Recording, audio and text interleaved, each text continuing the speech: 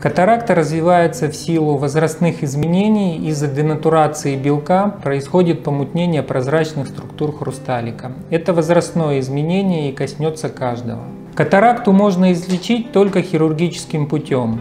Другие консервативные методы лечения, к сожалению, неэффективны и по большей мере являются психологической профанацией.